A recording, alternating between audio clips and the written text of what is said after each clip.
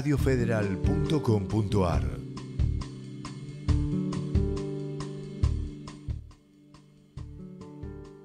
Muy buenos días, ¿qué tal? ¿Cómo les va? Bienvenidos a este reporte federal del día jueves 8 de octubre, hoy Día del Patrimonio Natural y Cultural de la República Argentina, Día del Estudiante Solidario y Día del Trabajador Rural.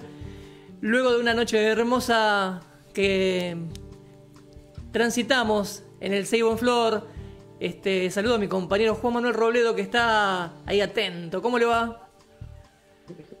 ¿Cómo andás, Marcelo Herrera? El gusto de saludarte. Hemos vivido una hermosa noche con el gran compositor y cantor Néstor Basurto, en lo que fue el Seibo en Flor de ayer, como todos los miércoles a las 22 horas, aquí por www.radio Federal. Y hoy eh, uno se asoma por la ventana en este jueves, eh, temperatura de 17 grados, eh, cielo totalmente despejado, la máxima para hoy eh, es de 24 grados, así que a disfrutar, la primavera vino para quedarse y vamos a comenzar con la lectura de las principales portadas aquí en el reporte federal de los diarios matutinos de nuestro país. Tenemos que comenzar por el diario regional de Pilar, en su versión digital, que tiene como principal noticia al intendente Federico Achával, estaría finalizando en marzo, Achával visitó el polideportivo de la estación del Viso. Trenes argentinos Infraestructura revisa tareas de demolición, seguirán con boleterías, baños, rampas y oficinas. Estos son los títulos del diario regional de Pilar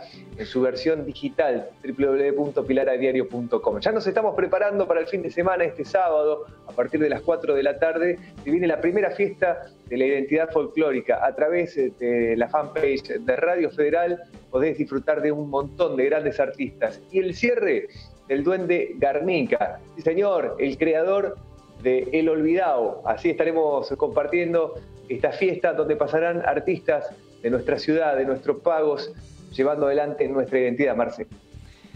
Exacto, es lindo momento vamos a pasar este sábado este, junto a todos estos artistas y, bueno, eh, transmisión por supuesto de Radio Federal eh, por sus páginas de YouTube, de Facebook y también por www.radiofederal.com.ar a partir de las 16 este sábado.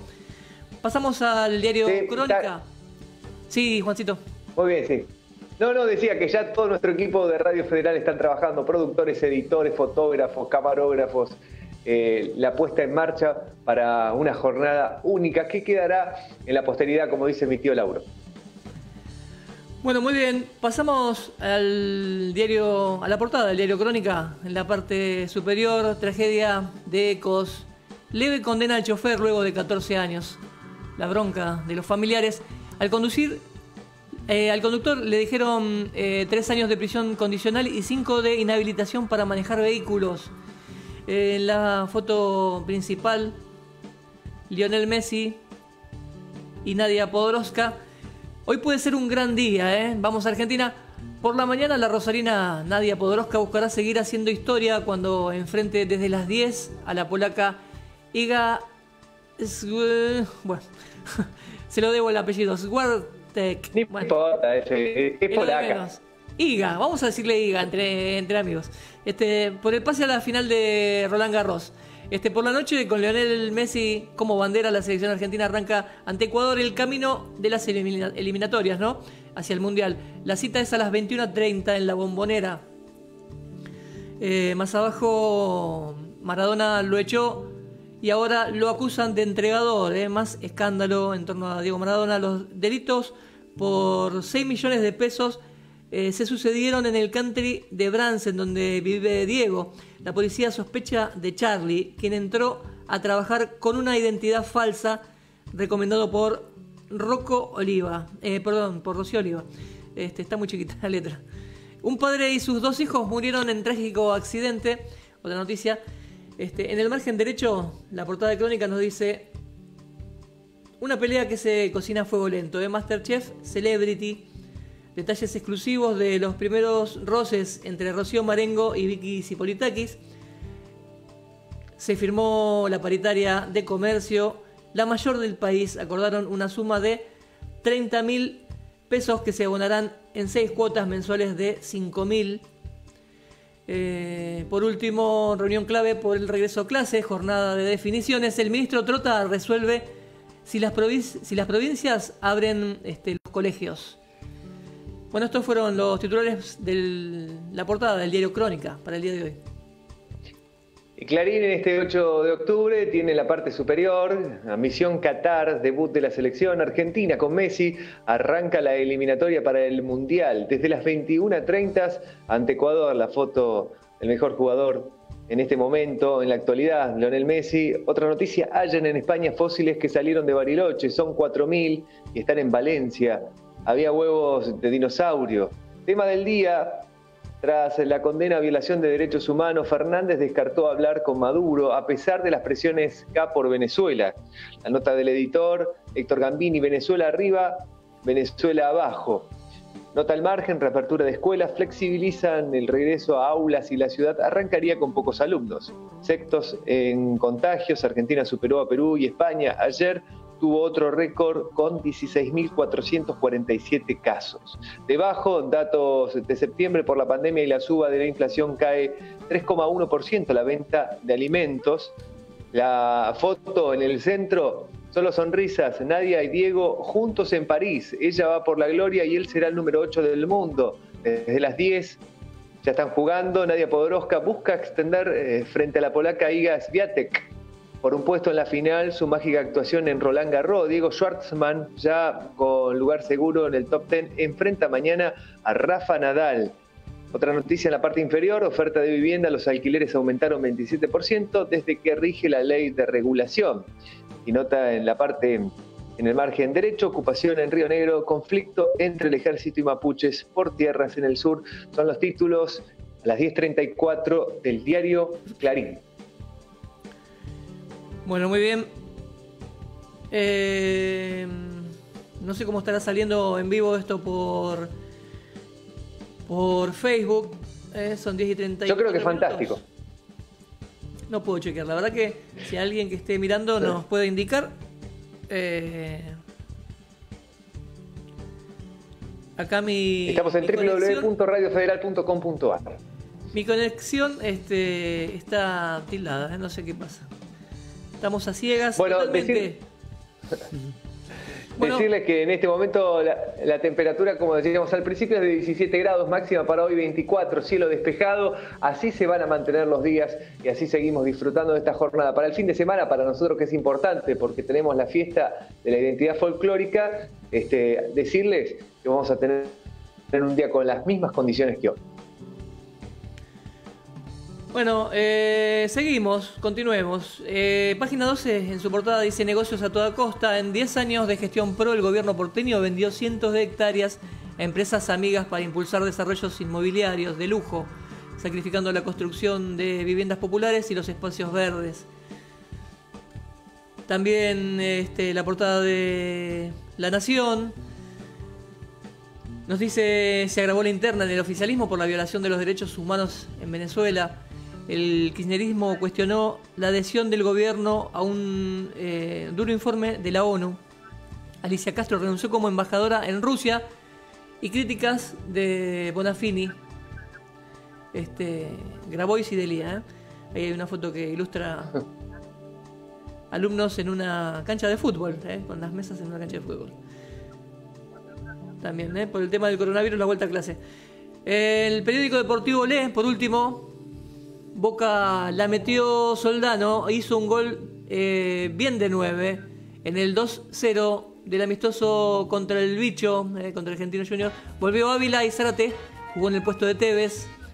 En el mundo de River, Nacho no se toca. Eh. Donofrio dijo que no se considera la chance de dejarlo ir a Fernández porque no tiene suplentes. Y bueno, la tapa, Nadia Podoroska y parte del seleccionado argentino Pedí dos deseos, eh, dice, ole, en la bombonera a las 21.30 por la TV pública y te dice Sport, Messi y la selección es frente a Ecuador. Y bueno, Nadia Podoroska que está en este momento disputando su partido. Eh, a las 10 de la mañana empezaba. Esta es la portada de Olé para el día de hoy, jueves 8 de octubre. Eh, impecable, como está saliendo la transmisión, la estoy siguiendo a través de www.radiofederal.com.ar. Ahí están todas las redes sociales la pueden seguir vía Facebook en vivo. Contarte que la imagen del día es la siguiente. He traído esta imagen. Un perro que se cree que es Harry Potter cuando va a la estación terminal para viajar a Howard. No, uh. en este caso pasa de largo y destruye el vidrio ante el asombro de su dueña. Cosas que suceden cuando uno tiene mascotas, les alegran la vida y también les hace pegar un lindo susto. 17 grados la temperatura en ascenso, hasta 24 vamos con un cielo despejado para hoy. 8 de octubre, Día del Estudiante Solidario. ¿Y de qué más, Marce? Bueno, no, no, no. tenemos, tenemos hoy este, un, este, efemérides, pero espere, déjeme buscarlo porque estoy acá enrollado entre las páginas web y las transmisiones. Hoy, 8 de octubre, bueno, con el objetivo de impulsar la reflexión y el interés de la sociedad en la preservación del patrimonio natural y cultural argentino, se declara eh, Día Nacional, ¿no? Propiamente dicho, del patrimonio natural y cultural. Em, también un día como hoy, pero de 1814, se creaba la provincia de Tucumán, así que saludos a todos los tucumanos, toda la gente querida del Jardín de la República. En 1927, César Milstein este, nacía en la ciudad bonaerense de Bahía Blanca, bioquímico argentino, ganador del Premio Nobel de Medicina en el año 1984 por las investigaciones eh, sobre las células monoclonales.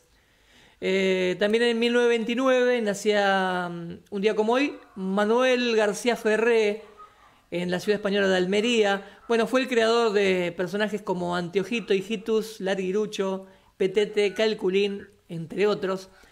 Y también en el año 1927 fallecía en París Ricardo Giraldes a la edad de 41 años, un poeta y escritor este, muy reconocido, autor de Don Segundo Sombra, novela clave de la literatura gauchesca. Esta es, un pantallazo del efemérides del día de hoy, ¿no? Lo pueden encontrar en forma más este, extendida en la página de Facebook de Radio Federal.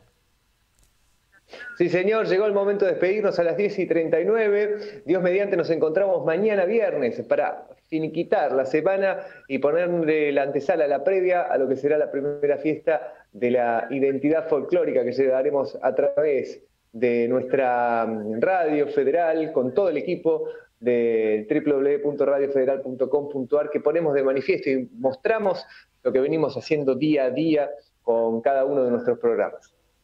Bueno, nos vamos justamente con el Duende Garnica, ¿sí? el tema se llama Chango, no te caigas, es lo último este, que está editando el Duende Garnica en esta época de pandemia, este, será hasta mañana. Hasta mañana, Marce, abrazo. Que tengan lindo día, ¿eh? Chau. Igualmente.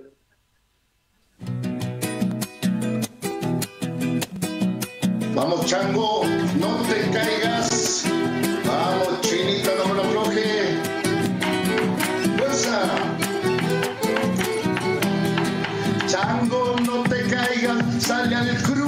Cruce a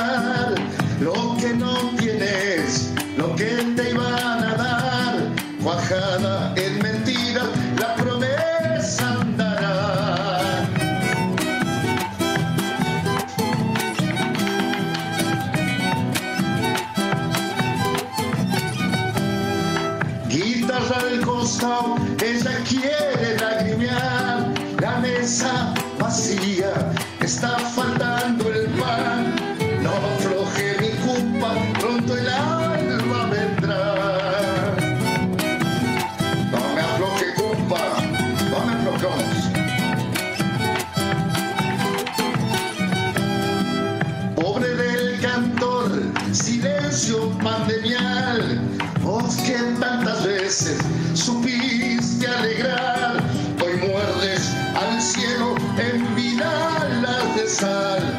Pulse su guitarra, los vuelos a tensar, saldemos de pecho, nadie afloja acá, a tu último extremo para chacarear.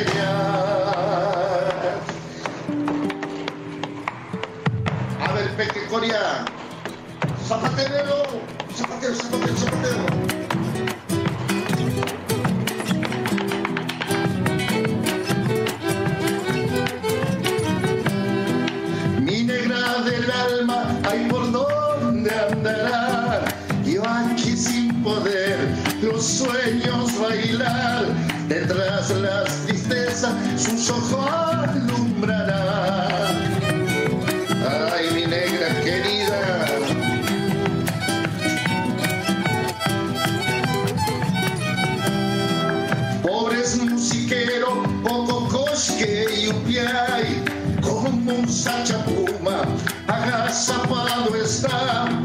Y a verla el acorde que te hay de curar. Vamos, vamos, vamos, mi hermano, fuerza.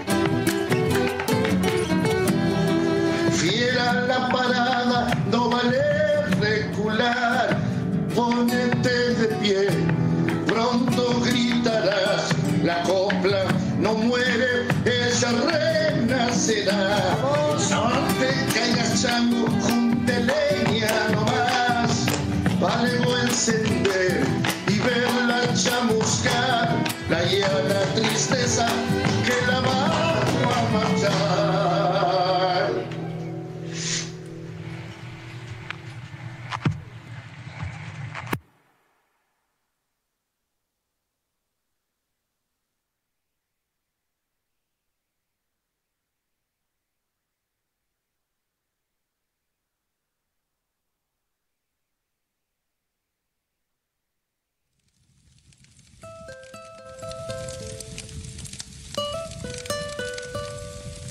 Defender nuestras tradiciones, nuestra cultura, está en nuestro ADN. Es nuestra identidad. Radiofederal.com.ar 24 horas de lo mejor de nuestra música nacional. Somos Radio Federal. Desde Pilar, cuna del federalismo.